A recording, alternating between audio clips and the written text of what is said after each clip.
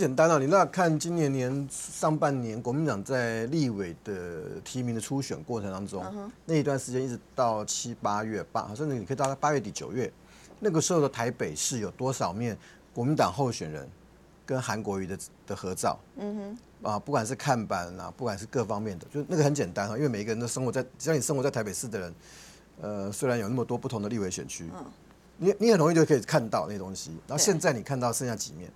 我不能说一面都没有，但是你一定发现很多被换掉。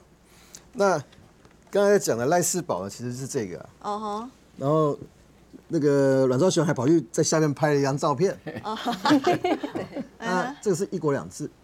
那以前赖世宝是跟韩国瑜的，尤其初选的时候，就是没有其他的人，没有马英九，也没有朱立伦。初选的时候，你就是韩国瑜跟赖世宝。嗯。后来呢？不过我觉得韩呃赖斯堡还算不错了，没有把韩国瑜完全丢掉了。嗯，像我们那个隧道那个呃新海路那个隧道那边呢，那哎最近哦最近我最近没有去看，说加油站那块啊？对对对对对，那那块好像没有换，那块那块本来是两个人，后来变四个人嘛。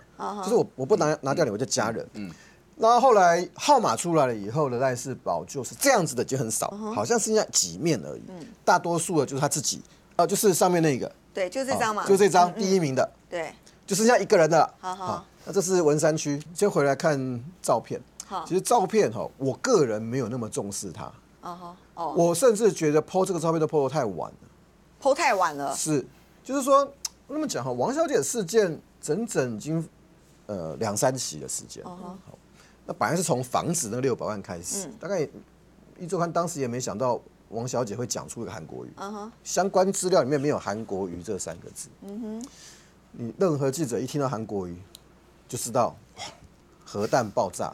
对，好，那下面的事情其实基本上就是核弹的延续。嗯哼，那就用一个小故事好了。嗯，我看过一个一个一一个简讯哈。哦吼，那是一个朋友他们的，因为其实韩国瑜韩市长今年最麻烦的一件事情就是说。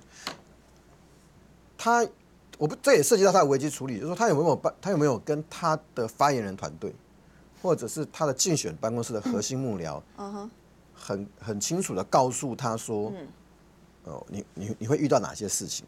我为什么这么讲哈？去年，呃，他在选高雄市市，呃，不对不起，应该讲前年了，是时序有点乱掉哈。二零一八年选高雄市市长的时候，比如说像那时候黄文才的角色，嗯，黄文才是专门呃。坐在那里让他的竞选团队备询，备询什么？就任何他们认为会牵涉到韩国瑜失德或者被攻击的对象，但是他们不知道韩国瑜到底真实的状况怎么样的时候，你就问问黄文才，黄文才可以告诉你所有的事情，嗯，哪个是真的，哪个是假的，嗯哼，所有沙盘推演，尤其尤其在二零一八年那一次，越到后面胜选几率越大的时候，那个黄文才跟整个整个决策核心，嗯。他是随时要要要要要要备选的。那今年的韩国瑜韩市长的竞选有有没有这个有没有这个功能？